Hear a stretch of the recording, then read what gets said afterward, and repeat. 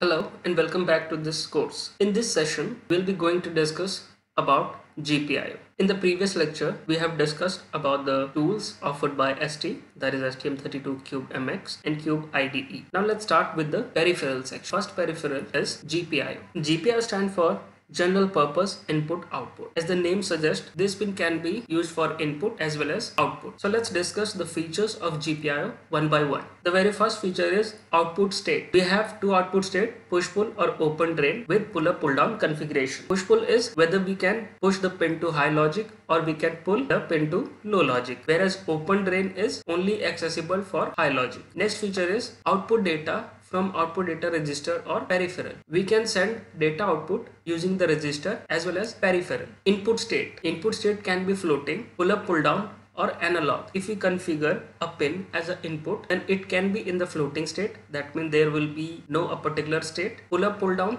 that we can send the logic high or low for the default state. And the third one is analog. That means we can read the value from this pin. Input data to input data register or peripheral. We can send data to input data register as well as peripheral. Next feature is analog function and speed selection for each input and output pin. We can configure each pin as analog function. We can select a variety of speed for each input output pins. Highly flexible pin multiplexing allow the user of input output pins as GPIO or as one of several peripheral functions. Now in this MCU or in any MCU of ARM Cortex, all the pins are multiplexed. That means they can be used for various applications application. Fast toggle capable of changing every two clock cycles so as already discussed in the features with speed selection if we select the highest speed of the GPIO then the toggling speed can be as fast as changing every two clock cycles next is bit set and reset register for bitwise write access to output data register. That means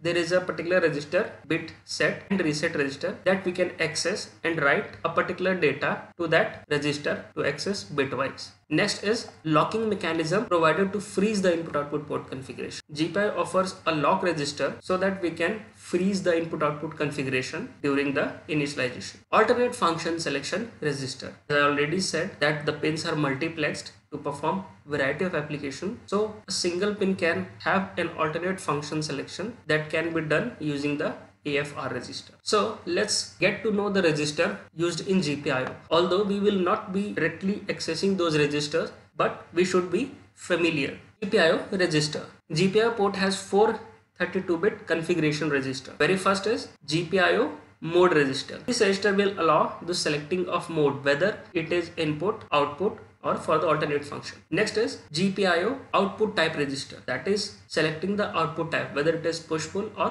open drain. Next is output speed register. That is that is the speed of particular input output pin. And at last pull up pull down register. That is we can configure the pull up and pull down for a particular pin. So these four register are used to configure a GPIO next is input data register this register will hold the input data respective to the GPIO pin. Similarly, if we want to send any output data to the pin, we can write with output data register. Next is a 32-bit set or reset register. This register is used to send high logic or low logic depending upon the requirement. All GPIO have a 32-bit locking register. As we have seen in the feature of locking or freezing the input output configuration so this register is used to lock the configuration of GPIO and we have two 32 bit register. One is high other one is low and at last all input output pins are shared in six port. That is GPIO port A, B, C, D, E, F. So this is the tabular data represented for the same configuration using the main three register that is mode register, output tab register and pull up pull down register. The mode register is of 2 bits and this correspond to a single pin. So a single pin can act as four different mode. If we have configured the mode as 01 then that particular pin will be configured as output. If we have configured the mode for that particular pin 10 then it will act as alternate function. If the mode is configured as 00 then the pin will be configured as input and if it is 11 then it will be configured as analog mode. So there are four different modes of GPIO. Now comes to output type. As we have seen there is two types of output that is push pull or open drain. So if it is 0 then it is configured as push pull and if it is 1 then it is configured as open drain. Now comes to pull up and pull down. This also contains two bits for a single pin. If both the bits are 0 0 then there is no any pull up and pull down configuration. If it is 0 1 then there is pull up configuration. If it is 1 0 then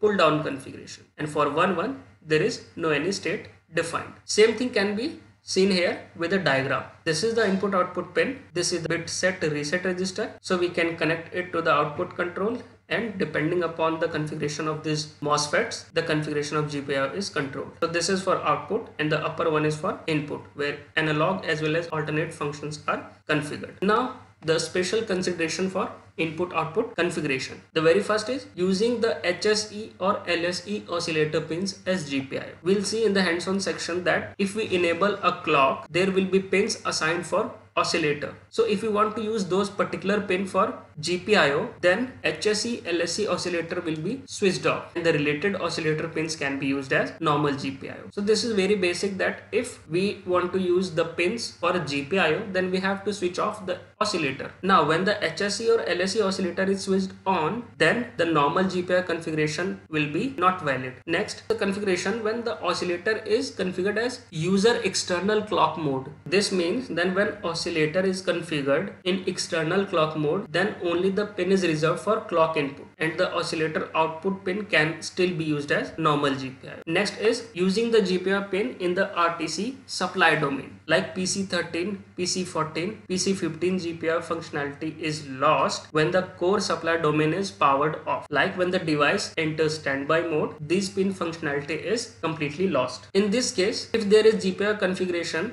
and RTC configuration RTC configuration is not bypassed, then these pins are set in analog input mode. And at last is using PH3 as GPIO. This particular pin PH3 can be used as a boot pin or as a GPIO depending on the software boot 0 bit in the user option byte. So these bytes are related in the Cube programmer section. So if we get a chance, we will look for the option byte and see this configuration. Like if the boot 0 is equal to 1, then option byte will be in the loading phase state. And if it is 0, then it will be in reset state. So there are multiple number of alternate function and using a multiplexer, only one function at a time can be active. So input output pins are connected to onboard peripheral or modules through a multiplexer that allow only one peripherals of alternate function connected to an input output pin at a time. Like if a peripheral is sharing the same pin then there is no any conflict between the only one of the alternate function can be active. At each input output pin has a multiplexer with 16 alternate function. So AF0 to AF15 that can be configured through the GPIO